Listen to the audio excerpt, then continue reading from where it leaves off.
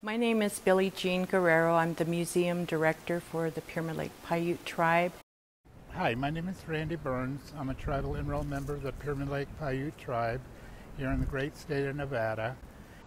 Hi, my name is Ralph Dunn, uh, project manager of the Pyramid Lake Housing Authority. You're here in Nixon, Nevada.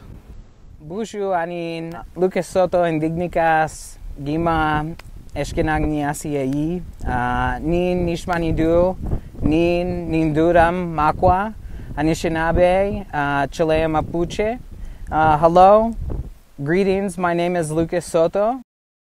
Okay, naka digin Barlese mi nan yet ina ako Orville Barlese kap ipia ka Virginia Walsey Barlese kap uh, naka ya kuyo kwait no. We know that the Burning Man event isn't happening this year in 2021. However, we do open up for visitors to come in to find out about the area and being that people normally come through the reservation anyway, it's a good starting point to learn about our culture, learn about our protocol and what's expected of visitors to our land. And we do expect visitors to respect what we have, especially our cultural areas, those that are uh, sensitive as far as sacred sites.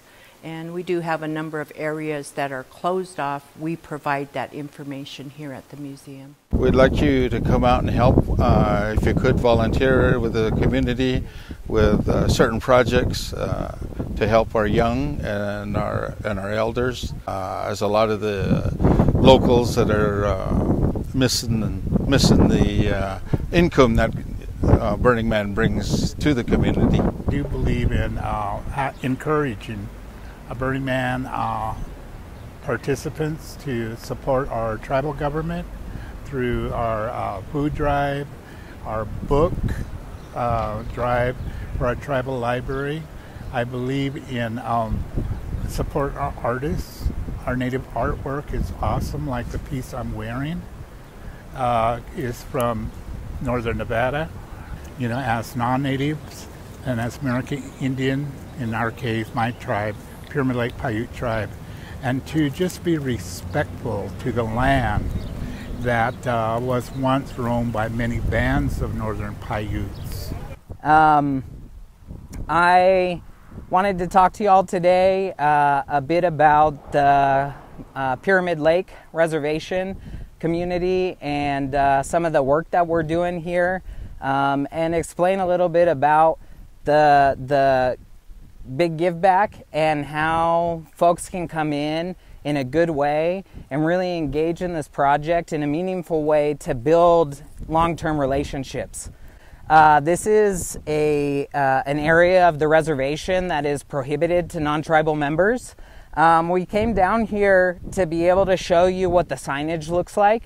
Uh, there's different parts throughout the reservation where you'll see signs like this, and as you can see, uh, they're a bit weathered and, and cracked and kind of hard to read out.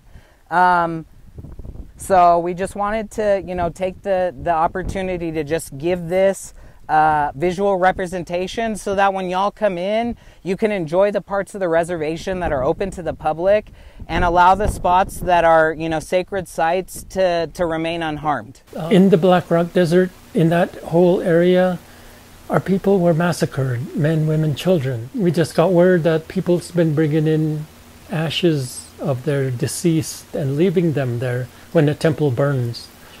And because that happens, it takes away from our own peoples not given that chance to be taken care of in a good way. So we're asking respectfully that once you bring your ashes, you can bring them in, do your altars, put the shrine up for them, and when you go home, you take them home with you. My name's Kitten Calfee. I'm a longtime burner. I'm excited this year about giving back through service projects at the Pyramid Lake Reservation. There's so much we can learn there by doing. I'm excited about working on projects to help the land there, do litter pickup and uh, wetlands restoration and uh, repairing seniors' homes. And I'd like to invite uh, other uh, burners to join me. Uh, we can work together. I believe that we can make a difference. Oh, yeah.